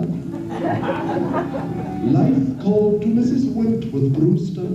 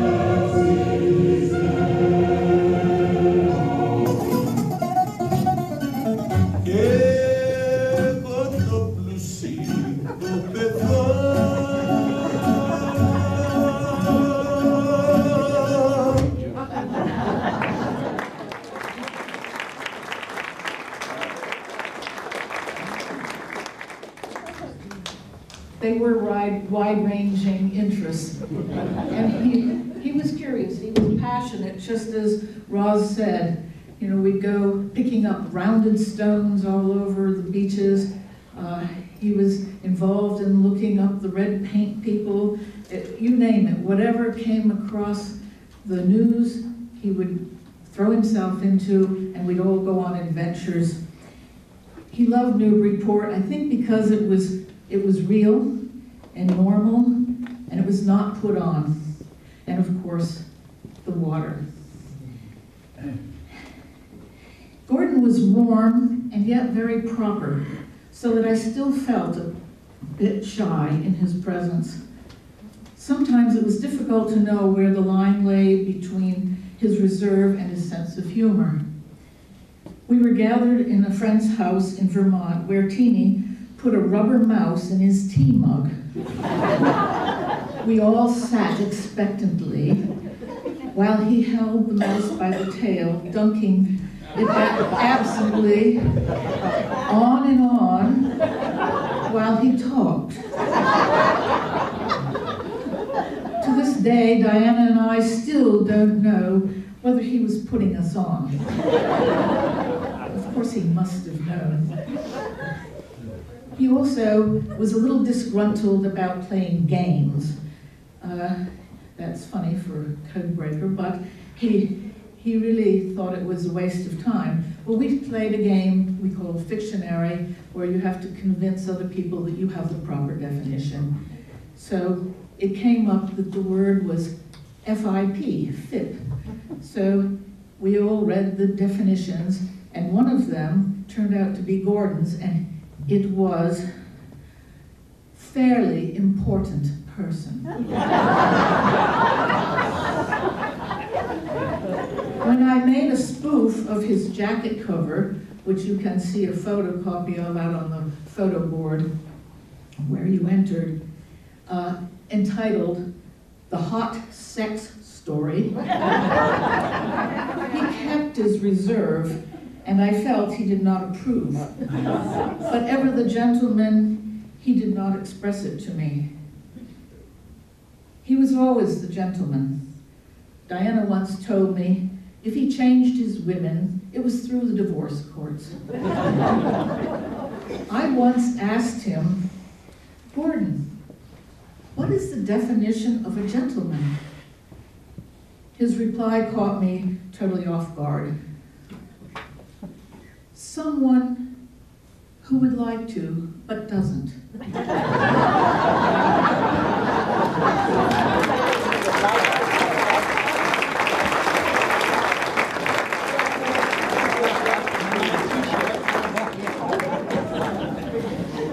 Well, well, well.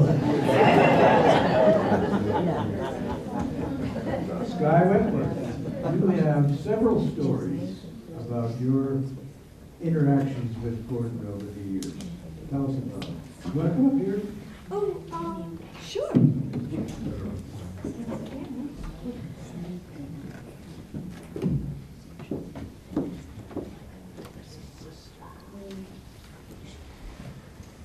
Well, first of all, I met Teeny first. Surprise! I think we all met Teeny first. Uh, I moved to Wash Street right across from Teeny and Gordon in 1978. And while we're busily unpacking and moving in, this woman comes across the street and she says to me, Hello, my husband and I have been watching you and your family move in. And we thought you looked like a, a good sort. Would you like to have dinner with us tonight? And so we did. What a great night to have dinner. We were unpacking, and, and to have someone have dinner for us was great.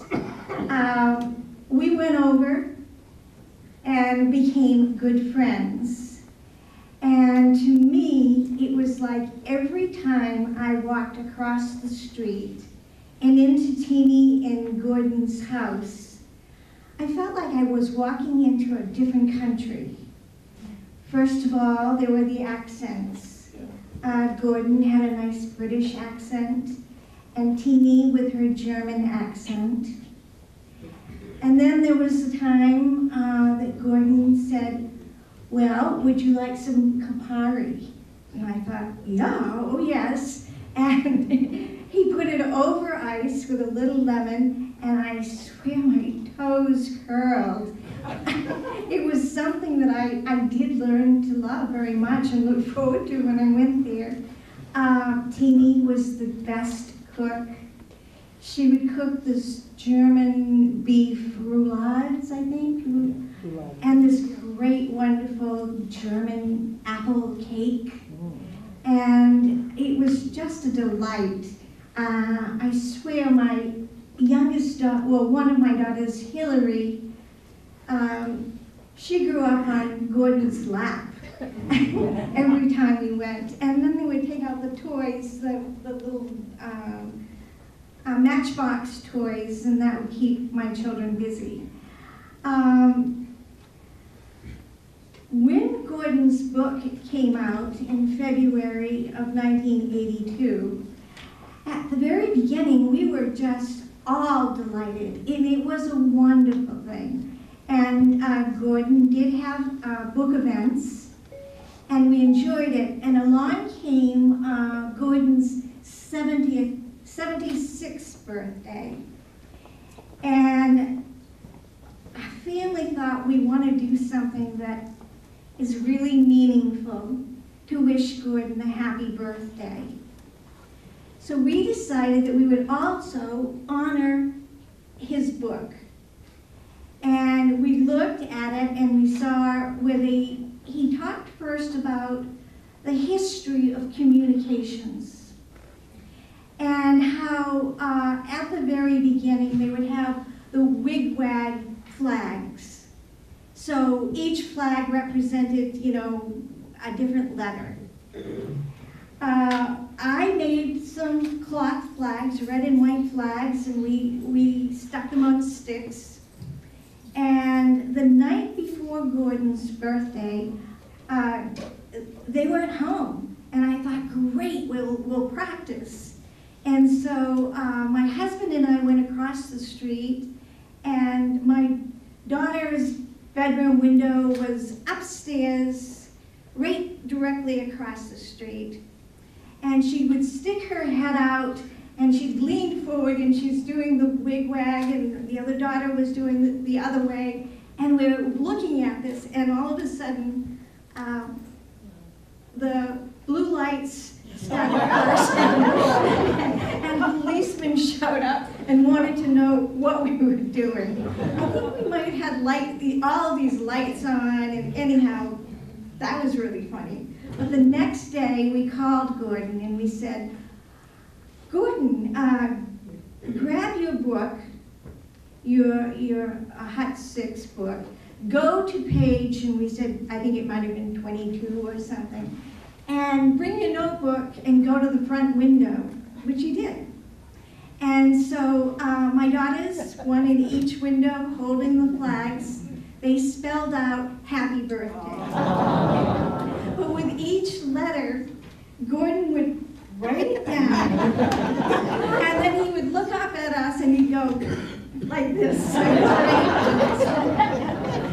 really, really cute. Um, and then, of course, you know, as you saw in the film, that I happened to be on my way to work the day um, that the men in black showed up and they were truly the men in black. I mean, they wore the, the skinny black suits, the black tie, those sunglasses, and the short haircuts, and they came flying down the street, stopped the car with a jerk, just jumped out of the car and ran to Gordon's store. Now, it's interesting because it seemed to me that Gordon thought something was up because they talked very briefly, and when they were leaving, and they left just as fast as they came in, um, Gordon just took that tour and he did that long slam. So I knew that something serious was happening. And later on, of course, we all talked about it and found out what was happening. Uh, I have one more story that I'll tell you. There were lots of stories, and yes, we loved going for nature walks, and uh, Gordon loved Plum Island and the birds and everything about nature. I often, when Gordon was sick, would, even when he was in a hospital in Boston, would bring him in wildflowers, and he loved identifying. And I would try to find ones that I didn't think he would know like eggs in a basket. I mean, who knows that flower, you know? But Gordon did, and it, it was really wonderful. Um, at the end of Gordon's life, um, and he knew he was going to die, he wanted to um, die at home. Um, and that meant that Teeny was his primary uh, caregiver. And I began to see where Teeny needed help. And this was really taking a little bit of a toll. there was that thing where you always wonder um, if I go over there, am I going over at the wrong time? Or am I, if I bring over this chicken casserole, will they have another six casseroles waiting for them in the refrigerator? So our family got together and we decided we would have a breakfast brunch on a particular Sunday.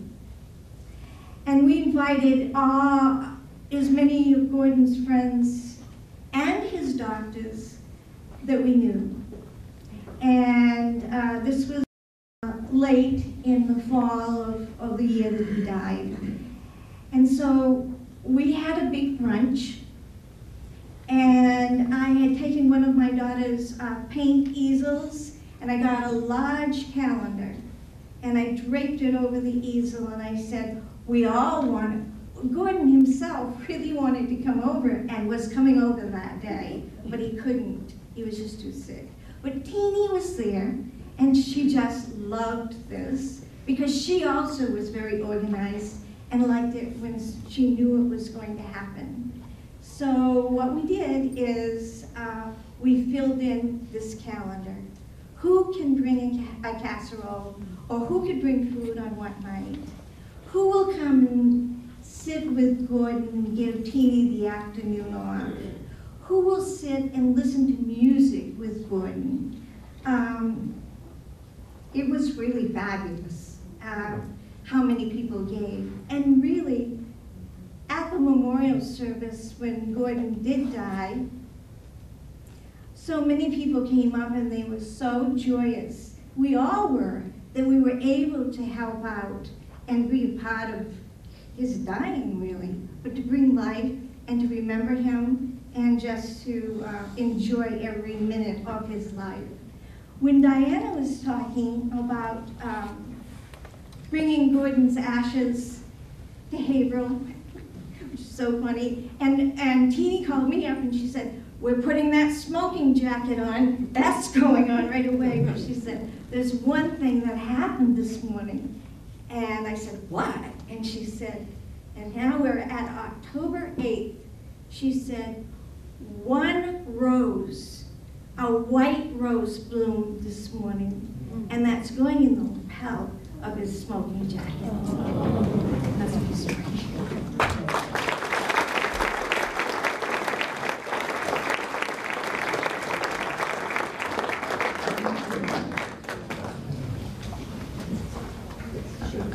Wonderful stories. I wish every panel that I moderated had guys like you on it, I'll tell you. Wonderful stories. And, doesn't it tell you something about the Newburyport of the times, too?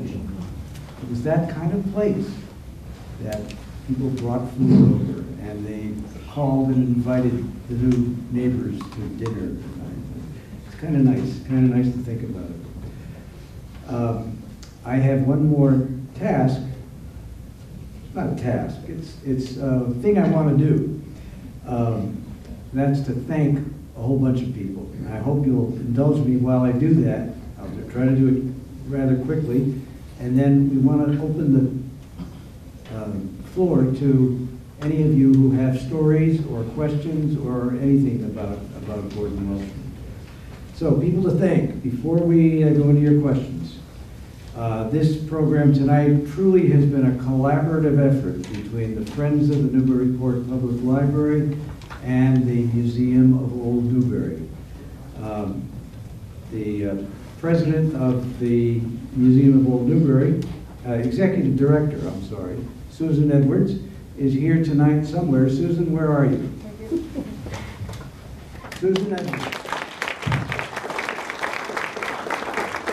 Uh, the president of the Friends of the Library is not here, Nancy P. At least I don't think she is. No, she's not. Uh, but both of these people have been, these women have been terrific in terms of the support they've given us over the past year that we've been working on this. Uh, truly wonderful. Uh, our hardworking program committee. I'd like to have them stand as I say their names so that you can recognize them. Hold your applause till the end, please. First, teacher, historian, Newburyport native Jean Doyle. Representing the Museum of Old Newbury, Emily Schaefer. Where's Emily? There she is in the back. Boston attorney and recent retiree Tom Mila. There he is, way in the back. Uh, Bunny Westcott, already introduced as part of the panel. Bunny. And last but not least, David Jones, whose good idea this was.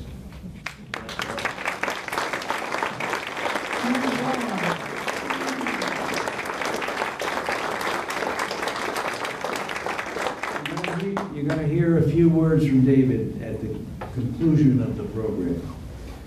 Um, we also want to recognize very fine work of Sarah Hayden, David Kramer, and the staff at Port Media, especially Katerina Muzia. Did I do it right? All right, good. Our videographer.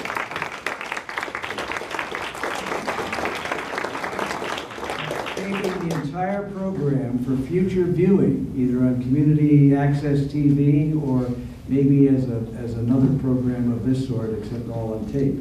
Uh, Dan Fianti.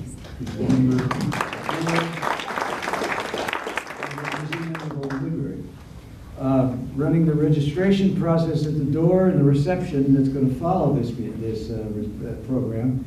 Uh, Kathy Malin and Peg McClure of the Museum of Old Newbury Program Committee.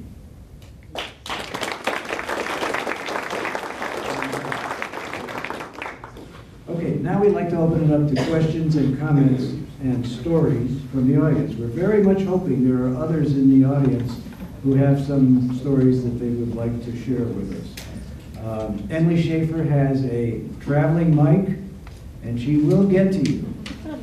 Please wait for her uh, so that your question can, or comment can be heard uh, clearly by everyone, and so we can pick, be sure to capture it on tape. Okay, uh, questions, comments, anything about what you've heard today? Yes?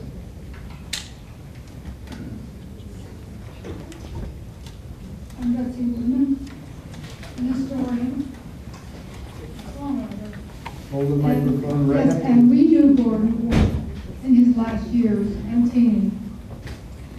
And the thing that strikes me is that it was really, really hard for us was that he was not recognized. And so this program is phenomenal. And I would like to say that the people who own the house that he lived, that he and Teeny lived in, um, yeah, Ann, Ann Dodge and Chuck Kennedy are in Mexico. Yes. But I know, we know how much that means to them, that that was where the Welchmans lived. So when you go by Wave and think about the wonderful history that they're perpetuating at their B and B, and it's just glorious that you did this program. Thank you, every, I think every one of you deserves all sorts of credit. Thank you. I'm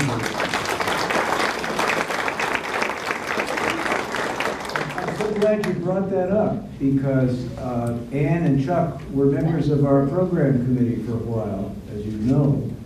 And um, uh, if we had put it on in October, which was the original plan, they would have been here. But uh, as, as you also know, they spend a lot of time in Mexico around this time of year and are not available, but they, they were very, very helpful to us. Other questions, comments, stories? I'd like, I'd like to Yes. know where he's buried in Germany. Ah, interesting that he is buried in Germany, isn't it? Yes, I've been there. Oh, Is it near the Chiemsee? Um, no, it's up in the, um, it, it's up in the German Alps towards, um, towards, um, Austria, in the town where Teeny grew up. And, um, it turned out, uh, I think they rather hoped he could be buried in the cathedral, at um, Bristol, where his father was archdeacon, but uh, turned out they were rather expensive. I guess at that point they weren't into recognizing so much. And so he decided he loved the mountains, he loved Oh, the mountains. And so he's, yeah. He's in, in the um, Cuba, her family was Cuba, in, in that. There was an amazing story about Tina getting the ashes there. And she, do you remember that story? Should I tell- should I? Um, Well, I mean, she, Tina was a very practical woman, and she was flying over. Yeah, we can't hear you. She was flying over to Germany, and she certainly didn't want to um, bother with carrying a heavy urn. It was enough to carry the ashes, so she figured she'd take the ashes and get the urn there. And so she goes to, you know, gets it all set up for the service and the interment of the ashes and the urn. Then she goes to buy the urn in a funeral parlor, and um, all right, chooses a nice one, gets all ready, and then she sort of says, well, would you mind pouring ashes in? Because I feel a bit squeamish about that. And suddenly, bureaucracy burst forth in all its glory. What? Where did those ashes come from? You imported a body. Where's the paperwork? I need the paperwork. and so she spent a frantic day running around getting all the paperwork done.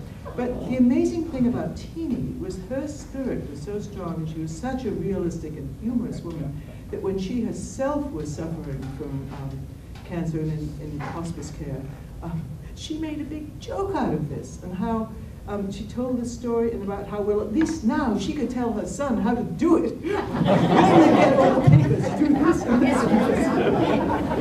And she's there also. Wonderful.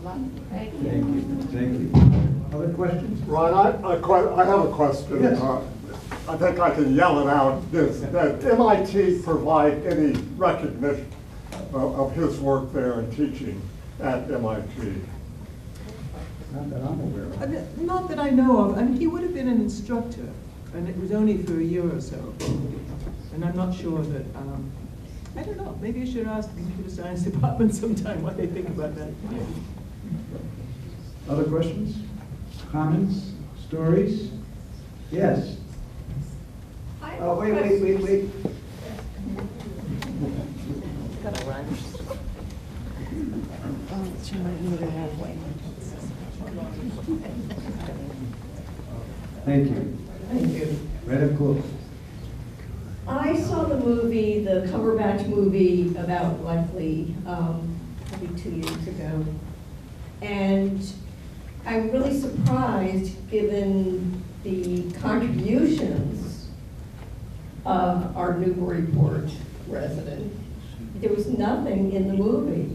And does anybody know why he was left out? I think I can answer that. Um, that was a movie made by Hollywood. Very bad history. Um, I'm actually rather glad he was left out because the way they, the way they portrayed um, everybody else at, at, um, at Bletchley, apart from Turing, was sort of as buffoons who were obstructions, obstructionists. So I was glad. Um, the um, you know, the, the head one who was um, meant to be so critical of Turing in the movie, um, Alastair Denniston, his family was very upset by that movie because the spirit of Bletchley Park was entirely supportive. I mean, everybody supported everybody else. There was none of that kind of feeling of um, obstructing. And also, I don't think, I think at Bletchley Park, um, as far as I gathered, um, they were extremely, you know, all the boundaries um, related to gender or sexuality or anything like that didn't exist at Bletchley Park. Turing's problems came afterwards, not at Bletchley. And so I think that was just a question, I think Brendan, my, my interpretation, maybe I shouldn't say this, is that Brendan Cumberbatch had had such success with the autistic genius in Sherlock Holmes, they decided to make the film in that model, but it's not good history. Thank you. Anything else? Let me bring on David Jones. David Jones is the guy who put this all together and had the germ of an idea a year ago. when We went to um, Shikoka and talked about it for an hour. And we said, wow, there's something here. And I hope you've enjoyed it. But David.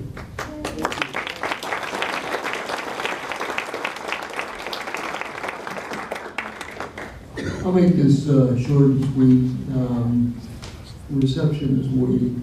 Um, but um, a year ago this February, my son was visiting from out of state. And early in his visit, we were sitting on our couch, just sort of catching up, my wife and my son and, and I. And TV was on in the background, but the volume was down. And at one point, my son said, wait a minute, there was just something there that said Newburyport on it. So we turned up the volume, and lo and behold, it was a BBC documentary on Gordon. And I was stunned. And I thought, I have to be the last person in Newburyport who knows about Gordon Welchman. And I had recently joined a, a local discussion group called News and Views. And the very next meeting, I went to it and I said, I'm sure you all know about Gordon Welchman, but I just, and it turned out there were three people out of 30 who actually knew him and or knew about him. And I thought, this can't stay the way it is. Um, we all know that Newburyport attracts, you know, interesting, uh, distinguished uh, people. Look at all of you, all of us. Um, but I thought this really warrants something. And, uh, and I have to say, uh, I have uh, tremendous gratitude to the Friends of the Library um, and the Museum of Old Newbury for getting behind this, for Ron and for Emily doing a fabulous job of putting it together. And I just hope that we might at some point in the future be able to have a more permanent recognition for Gordon. Have no, have lots of ideas, but nothing, no plans. Uh, but would welcome thoughts uh, by any of you uh, in, in this regard. So thank you again for coming out on a gloomy night, uh, but it was really a wonderful program. The panelists did a superb job, and Gordon Welchman is really something uh, that Newburyport should be very proud of. And uh, so I thank you all. Thank you.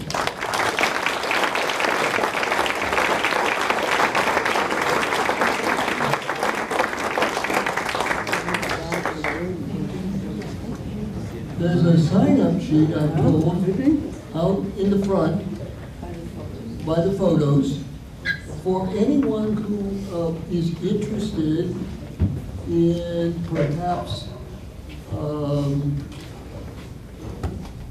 His legacy, try to make his legacy more to make his legacy more permanent. Please feel free to sign up. Or for upcoming news. Or upcoming news, thank you.